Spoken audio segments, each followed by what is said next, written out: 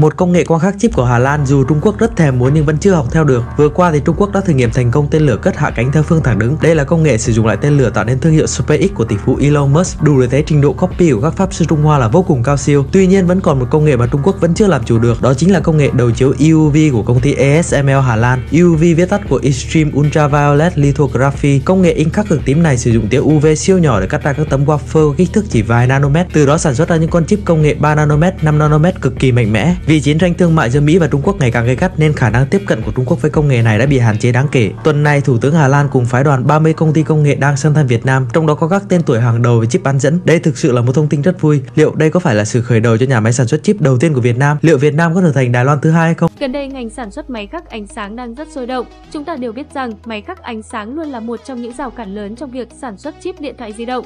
Vậy máy khắc ánh sáng thực sự khó chế tạo đến mức nào?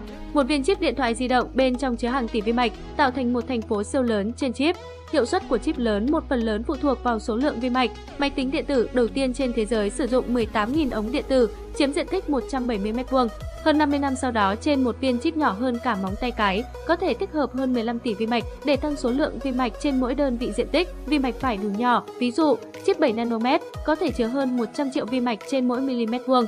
Để sản xuất những viên chip cao cấp như vậy, không thể chế tạo bằng tay, chúng ta cần dùng ánh sáng để khắc. Điều này đòi hỏi sự hỗ trợ của máy khắc ánh sáng. Trước khi khắc ánh sáng, chúng ta cần phải phủ một lớp gel khắc ánh sáng lên bề mặt wafer, một loại đĩa mỏng làm từ silic và được sử dụng để sản xuất chip điện tử. Sau đó quá trình khắc ánh sáng bắt đầu, nguyên tắc hoạt động của máy khắc ánh sáng dường như phức tạp, nhưng thực tế không hề đơn giản. Ban đầu ánh sáng phát ra từ máy khắc đi qua mặt nạ ánh sáng, mặt nạ ánh sáng chứa các mẫu vi mạch sau khi ánh sáng đi qua mặt nạ ánh sáng, mẫu vi mạch trên mặt nạ ánh sáng được thu nhỏ tỷ lệ và ánh sáng được phóng to trên wafer silic. Quá trình này rất quan trọng trong máy khắc ánh sáng. Một trong những yếu tố quan trọng nhất trong quá trình khắc ánh sáng là nguồn sáng. Máy khắc ánh sáng sử dụng tia cực tím siêu ngắn EUV với bước sóng chỉ 13,5 nanomet. Sáng EUV được tạo ra trong quá trình khó khăn. Trước hết, nguồn sáng cần phải đập vào một tấm CD kim loại có chiều dày chỉ 20 micromet bằng một tia laser có công suất 20 kW với tần số 50.000 lần mỗi giây.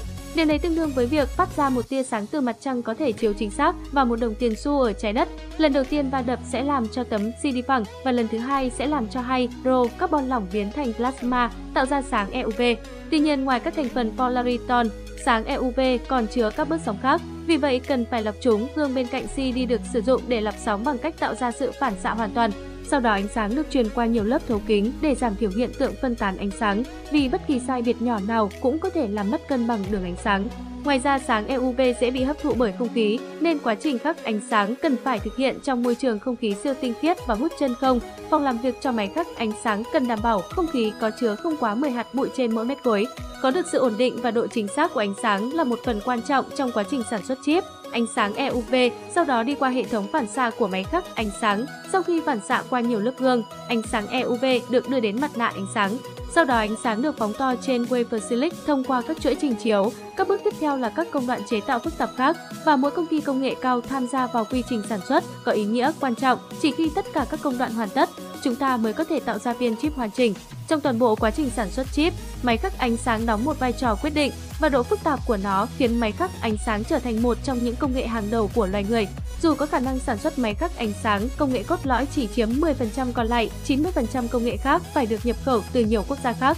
Các nhà khoa học đã nỗ lực rất nhiều trong lĩnh vực này và gần đây, chiếc điện thoại Mate 60 của Huawei đã sử dụng chip Kirin 9000 dây tự phát triển. Chip này đã đạt được một bước tiến lớn trong quá trình chế tạo. Đường phía trước có một con đường dài, nhưng chúng tôi tin rằng trong tương lai không xa, chúng ta sẽ có khả năng sản xuất máy khắc ánh sáng riêng của mình và cuối cùng thắng lợi trong cuộc chiến công nghệ cao này.